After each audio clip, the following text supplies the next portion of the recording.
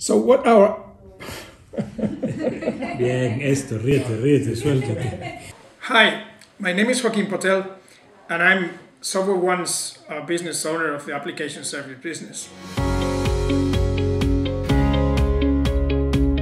Well, first of all, uh, the application space represents a tremendous opportunity right now. Analysts estimate that around 50 million applications will need to be migrated to the cloud over the next few years. In application services, uh, we, we touch basically three different categories of, of services.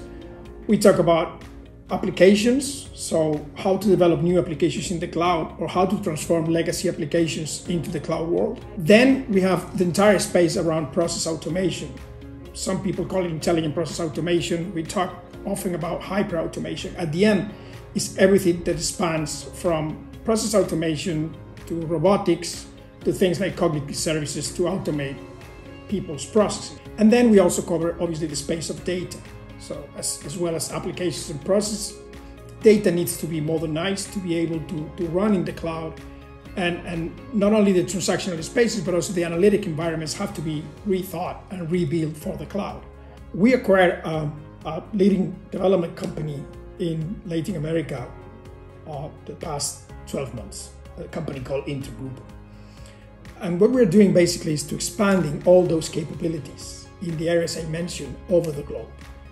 Over the next three years, we plan to add around 5,000 professionals in different locations across Americas, EMEA, and Asia Pacific. Our model is built to deliver a local experience no matter where the service is executed.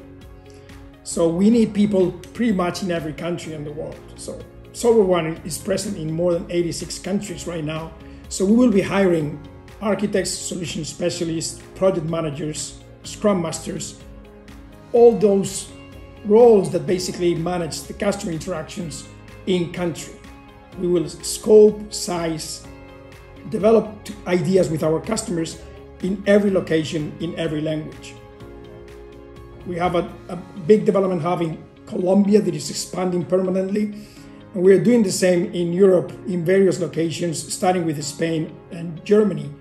And very soon, as soon as end of this year, we will open probably in Manila too.